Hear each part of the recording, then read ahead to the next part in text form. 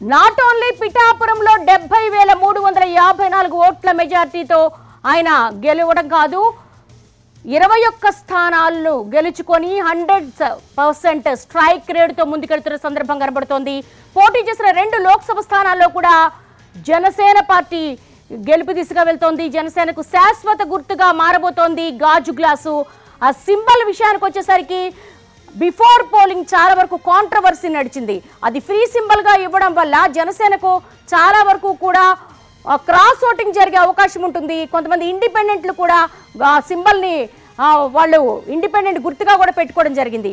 గాజు గ్లాస్కు సంబంధించి కూడా చాలా కాంట్రవర్సీ నడిచింది. అయినప్పటికీ కూడా కంటెస్ట్ చేసిన ఇరవై ఒక్క స్థానాల్లో విజయకేతనం ఎగురవేస్తోంది ఆధిపత్యం కనబరుస్తోంది జనసేన జనసేనకు శాశ్వత గుర్తుగా గాజు గ్లాసు మారబోతుంది. ఏపీ అసెంబ్లీలో రెండో అతిపెద్ద పార్టీగా జనసేన నిలవబోతోంది. గత రెండు వేల పంతొమ్మిది ఎన్నికల్లో ఒక్క స్థానానికి పరిమితమైనటువంటి జనసేన పార్టీ ఆ తర్వాత ఇప్పుడు అంచెలంచెలుగా ఐదేళ్ళ తర్వాత అలయన్స్లో భాగంగా కూటమి దిశలో హండ్రెడ్ పర్సెంట్ స్ట్రైక్ రేట్తో గెలుపు బాటలో జనసేన దూసిపోతున్నటువంటి సందర్భాన్ని చూస్తున్నాం. పిఠాపురానికి సంబంధిస్తే యాభై వేల వరకు కూడా మెజార్టీ వచ్చే అవకాశం ఉంటుందని చెప్పేసి ఎగ్జిట్ పోల్స్ చెప్పాయి. కానీ ఎగ్జిట్ పోల్స్ని మించి అంచనాలను మించి డెబ్బై వేల పైచిలుకు ఓట్ల మెజార్టీతో పిఠాపురంలో జనసేన అధినేత పవన్ కళ్యాణ్ విజయం కన్ఫామ్ అయిపోయింది ఆయన గెలుపు కన్ఫామ్ అయిపోయింది. సమీప ప్రత్యర్థి మూడు దశాబ్దాల రాజకీయ అనుభవం ఉంది.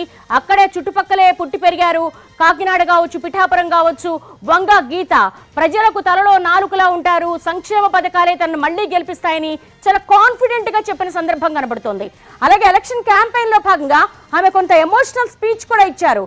తనను ఎట్టి పరిస్థితుల్లో గెలిపించాలి లేదంటే తను ఓడిపోతే అంతిమయాత్ర ఇక్కడి నుంచే కొనసాగుతుందని కూడా ప్రజలను ఆమె కొంతవరకు కూడా అభ్యర్థించారు. అయినప్పటికీ కూడా ప్రస్తుతం మనం చూస్తున్న లీడ్స్ చూస్తే గనక పిఠాపురంలో పవన్ కళ్యాణ్ భారీ మెజార్టీతో డెబ్బై వేల మూడు వందల యాభై నాలుగు పైచులకు ఓట్లతో ఆయన హండ్రెడ్ పర్సెంట్ స్ట్రైక్ రేట్తో ముందుకెళ్తున్నారు. ఆయన ఫస్ట్ నుంచి ఒకటే స్టాండ్ తీసుకున్నారు.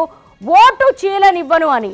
ఖచ్చితంగా ఈ యొక్క కూటమి హవాలో కావచ్చు కూటమి సునామీలో కావచ్చు జనసేన ప్రధాన భూమిక పోషించిందనడంలో ఎలాంటి సందేహం లేదు.